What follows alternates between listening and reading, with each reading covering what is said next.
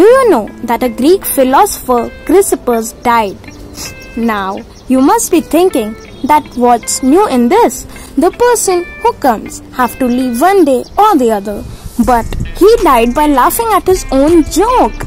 Once he saw a donkey eating some figs and he said, Now give the donkey a pure wine to wash down the figs. And he laughed so hard on his own joke that his life has to pay for him.